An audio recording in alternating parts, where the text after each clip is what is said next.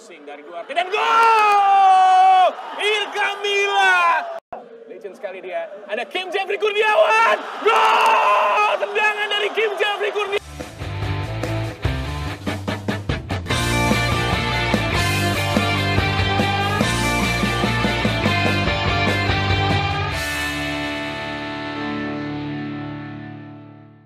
Menang di Brawijaya, PSS Sleman benamkan Persik Kediri di zona degradasi. PSS Sleman sukses mencuri tiga poin di markas. Persik Kediri selesai menaklukkan Macan Putih tersebut dengan skor 0. Dua pada pekan ke-6 Liga 1 di Stadion Brawijaya.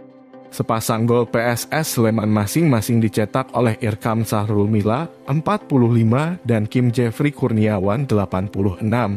Tambahan 3 poin mengatrol posisi PSS Sleman ke peringkat 8. Mengoleksi total 8 poin hasil dari dua menang, dua imbang, dan dua kali kalah.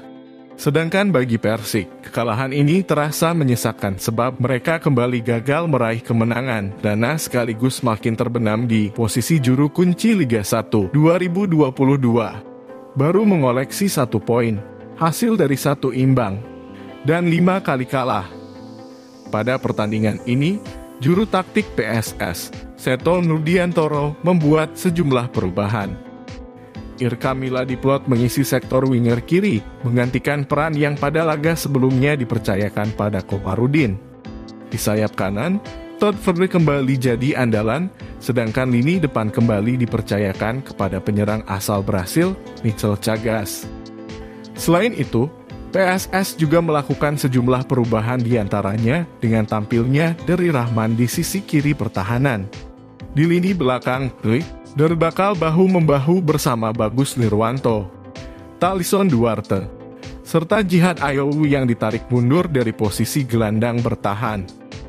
Di tengah, PSS mengandalkan Manda Cinggi sebagai gelandang bertahan sekaligus menjabat sebagai kapten tim. Ada pula Fandi Eko Tomo serta Se Valente yang jadi motor serangan Laskar Sembada. Tak lupa, pos penjaga gawang juga diisi kembali oleh M. Ridwan setelah pada laga sebelumnya dipercayakan pada Jandia Eka Putra. Pertandingan berjalan sangat sengit.